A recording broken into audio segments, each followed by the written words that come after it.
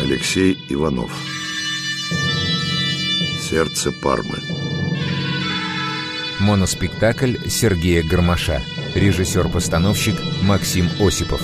Композитор и саунд-продюсер Андрей Попов.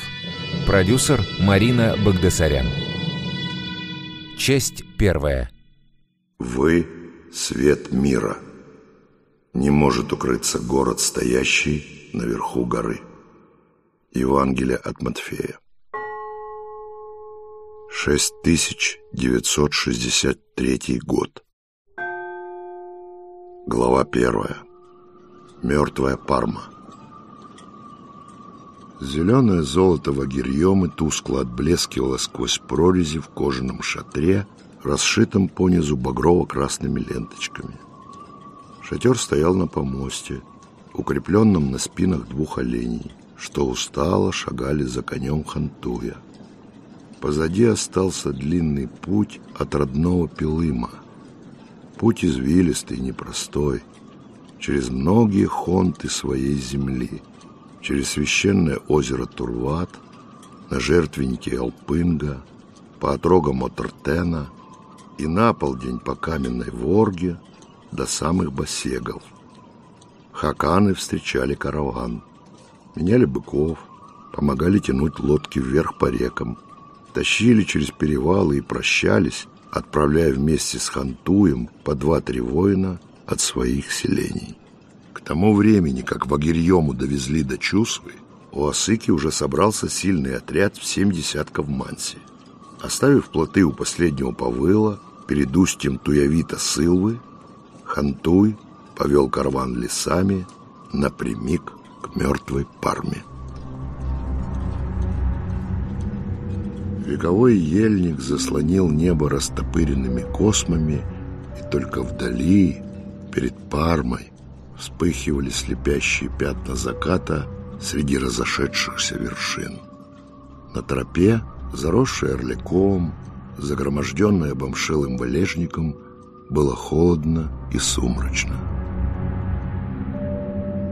Сумрачно было и на душе у князя.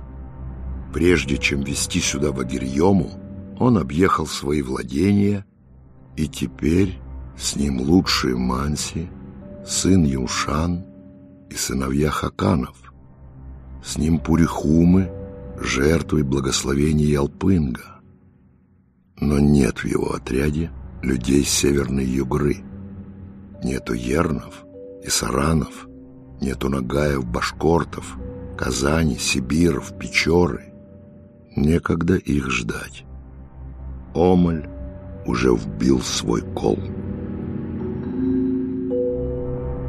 Древней тропой от Сылвы на мертвую Парму давно, видно, никто не пользовался. Папоротник, буреломы, заплыли белой смолой вырезанные на еловых стволах сопры, затянуло корой вбитые в деревья тамги — что указывают путь. Может, и лесные духи уже покинули Парму. Шаман дремлет на спине оленя, держась за подпильные рога и покачивая шест, на котором тихо звякает бубенчик, отгоняющий духов тайгу. Но вот конь под хантоем вздрогнул, мотнул головой и фыркнул. Зверь раньше человека учует куля — который почти невидимый, увяжется за путником. Успокаивая, Осыка ласково потрепал коня между ушами. Хороший конек, нята, олененок. Два года назад он спас князю жизнь, когда на переправе через вздувшуюся бурхой лу его сбило с ног. Шаман встрепенулся и затряс колокольчиком, качая рогами мохнатой шапки. Караван выходил к брошенному городищу. С болотистой опушки открывался вид на мертвую Парму. Огромная, похожая на медведя гора, заросла могучими деревьями. Но все они умерли, стояли сухие, голые, без коры, без хвои, без листьев. От заката Лес покойник пожелтел, как мамонтова кость. Брошенное городище темнело у подножия горы, одним краем затонув в болоте. Сквозь чахлое кривое редколесье князь разглядывал его, на ходу отмахиваясь от комаров еловой лапкой. Валы заросли дремучей серой паутины малины, из которой торчали кривые зубцы чистокола. Постройки обрушились. Из сырых ям высовывались сгнившие, осклизлые бревна. Тонкие березки, словно птичья стая, разлетались по городищу. Заплесневев по шею, идолы-охранители косо чернели среди белых стволов. Бестыжие ярко горели мухоморы, и пучки поганок дрожали на трухлявых пнях. Легкий озноб обметал виски князя, заставив вздрогнуть монеты на шапке. Дурное место. Так и чудится желтый немигающий взгляд куля откуда-нибудь из болота. Ночами духам нравится приходить в покинутые людьми селения, играть там в свою любимую игру, в людей. Они сидят в ямах, как в домах, ходят в гости, роют землю, таскают бревна, но потом забывают смысл игры и дико скачут по обвалившимся чистоколам, вылезают в окна, прыгают с крыши на крышу, висят гроздями на ветвях и оголившихся стропилах. Князь сплюнул в сторону городища и положил ладонь на тамгу, нашитую на грудь кожаной рубахи. Караван не спеша двигался вдоль склона мертвой Пармы. «Гляден», — так называют ее русы, — думал князь. Понизу гору охватывала ветхая изгородь, клонящаяся то наружу, то внутрь. Трава зелено-белесыми языками забиралась вверх, но чахла, сменялась прелой хвоей и мхом. Скелеты деревьев неподвижно топорщили изломанные ветви над этой странной, застрявшей на отмеле времени горой. Обогнув плечо Пармы, караван миновал ворота со столбами-идолами, чьи остановившиеся глаза — налились кровью камского заката. Невдалеке стрельнула искрой темная полоса речушки. Асыка, обогнув шамана, первым вывел няту к травянистому берегу. Правее, на песчаном обрывчике, стояли болбаны родов, и совсем старые, побелевшие, треснувшие вдоль волокон, и новые, еще желтеющие свежей древесиной зверолицые, птицеголовые, рогатые, с человечьими личинами, глубоко врезанными в деревянную грудь. Воины каравана спешивались, заходили по колено в воду, умывались. Звеня уделами шумно пили кони и олени. Дождавшись, когда нята напьется, князь тронул его и тихо поехал вдоль берега вниз по течению. Проплыло по правую руку устье Юрчима, из пригорка открылся весь шаманский город.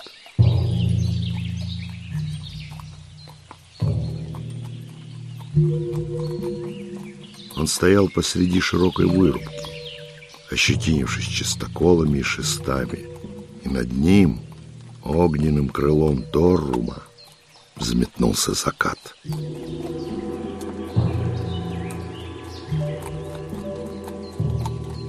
По утоптанной земле священной дороги Хантуй медленно приближался к высоким валам с гребнем тына, к сторожевым вышкам на длинных и тонких ногах. По обе стороны дороги из кустов торчали черные головы истуканов. Могучие перы-защитники — высились над стенами, свирепо и ненавидяще, впялившись в путников выжженными дырами глаз.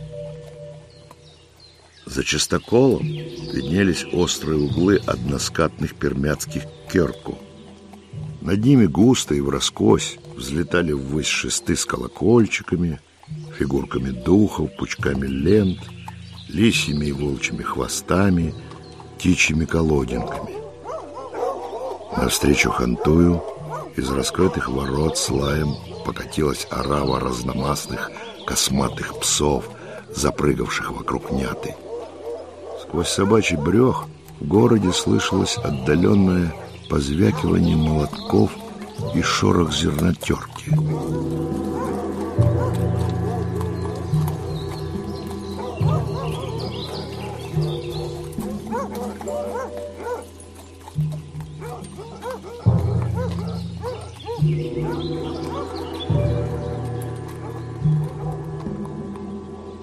Князь остановил коня у моста, переброшенного через ров. Трещали кузнечики, орали вдалеке лягушки, отфыркивался нята. В проеме ворот появился человек. Он тоже остановился и молчал. Князь не произнес ни слова, разглядывая шамана и поджидая свой отряд. До темноты Пришельцам нужно соблюдать молчание, чтобы духи, немые для обычных людей, могли хорошенько вызнать их. А ночью, когда для них наступит время говорить, дали ответ. Отряд постепенно собирался за спиной князя. Собаки метались под ногами лошадей и оленей, клацали зубами у самых ног всадников, но их никто не гнал ни окриком, ни плетью, ни палкой. Осыка ждал, щурясь на закат рассматривая город. Не таким уж и неприступным выглядел он вблизи. Валы начали оплывать, в щелях чистокола видны были подпорки, изнутри приставленные к бревнам. Давно нечищенный ров заполняла черная вода, затянутая ряской, над которой дрожали комары. Сторожевые вышки обветшали и рухнули бы под тяжестью двух-трех лучников, а лестницы, ведущие на боевые площадки, не досчитывались ступеней. Только черепа на кольях, олени, медвежьи, человечьи, выглядели устрашающе. На страх и полагали шаманы, оберегая свой город. Но тот враг, который придет, не испугается ни черепов, ни идолов, ни богов. Он устрашится лишь того, что сейчас принес сюда в своей груди князь Осыка. Город шаманов умел многое. Он восходил к богам и не сходил к ящерам, изгонял демонов и призывал духов — он знал, как направить умершего к полночному морю и как вернуть его обратно. Он считал звезды, предугадывал будущее и помнил прошлое. Он умел лечить людей и добывать металл, сочинять песни и вырезать идолов. Он ссорил и мирил народы. Но шаманы не умели двух самых простых вещей в этой жизни — кормить себя и бороться с судьбой. Он, князь Осыка, пришел сказать, что сделает это за них, если они поверят ему, поймут его и передадут его волю в Агирьеме.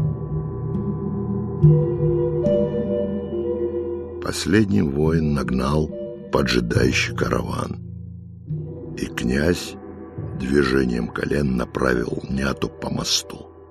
Человек в воротах отступил в сторону, пропуская князя, и пошагал вслед за ним, рядом с шатром Вагирьемы, звоном бубенчика на шесте, отгоняя тени зла от ее зеленого золота.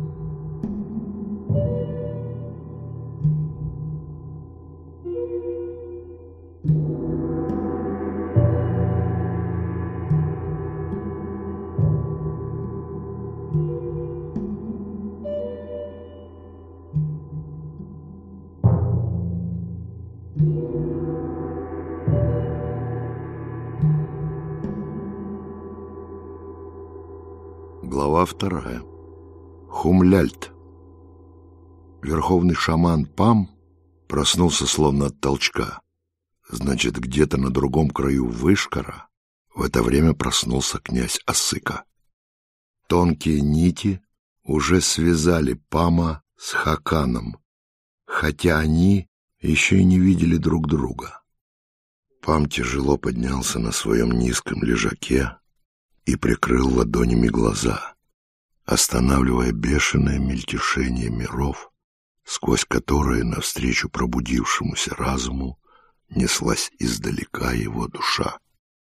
Опершись на посох, Пам встал, нашарил на столе бронзовую рукоятку огнива, высек искру на труд из бересты и, поддувая, запалил от него острый конец лучинки, пропитанной горючей смолой. Пусть Хакан видит свет в моем окне и приходит сюда, — подумал Пам, опуская лучинку в горшок на плоском блюде, залитом водой. Посохом открыв дверь, Пам вышел из своего керку во двор. Над землей, над вышкором дико лучилась полночь. Луна висела над мертвой пармой, превращая белый сухостой в колючие кристаллы хрусталя, которыми гора обросла, как изморозью. Где-то в страшной дали, опустив голову, созвездие Сахатова пило чувственскую воду, а над Камой распахала вечную тьму звездная ворга. Пам подошел к низкой ограде двора и остановился, подперев посохом грудь. Легкий камский ветер забросил на лицо длинные белые волосы шамана, оплел запястье прядями бороды. Вышкар спал. Только у ворот тлел костер караульных, да на кузнечном дворе в щелях домничной землянки то вспыхивал, то газ, багровый отцвет, и вздыхали мехи. Воины Хакана тоже спали в отведенных им гостевых керку. Дом, где поместили князя и троих княжат, находился рядом с загоном. Пам увидел, как задумчиво поправив полок на проеме входа, высокий человек направился к изгороди. «Нята! Нята!» — шепотом позвал он. Разбуженные кони глухо переступали копытами. Между жердей высунулась голова няты, и Осыка протянул коню на ладони угощение. Напрямик, сквозь лопухи и мерцающие во тьме заросли крапивы, мимо пустых домов и собачьих шалашей, князь зашагал на пригорок ко двору Пама. Шаман в лунном свете молча разглядывал лицо Хакана, узкое, скуластое, как маска безжизненная, резко очерченная линией сивых волос, натуго стянутых в две косы. «Входи», — сказал Пам, остановившемуся у калитки князю. Пам знал, что про него говорят, будто он видит людей насквозь. Это было правдой. Пам видел души человека. Две, три, пять. У кого сколько есть. Душа ворон живет с предками, душа филин с духами, душа сокол с богами, душа лебедь там, выше богов, где движутся судьбы. А последняя душа, живущая с людьми, у всех разная. У кого утка, у кого воробей, у кого ястреб. Хакане Асыке Пам не увидел ни одной души. Он был глух и целен, как камень.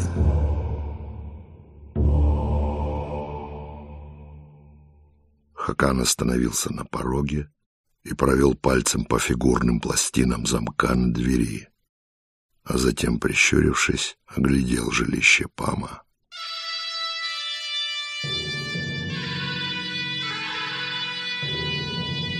Старый шаманский керку был сложен из огромных уже замшелых бревен с врезанными в них тамгами. Под самыми стропилами в узком волоковом окне синели звезды. Пам заменил догоравшую лучину в горшке.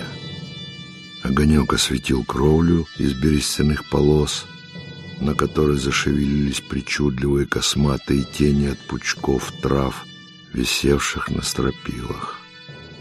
Стол был завален кусочками кожи, обрезками кости, черепками.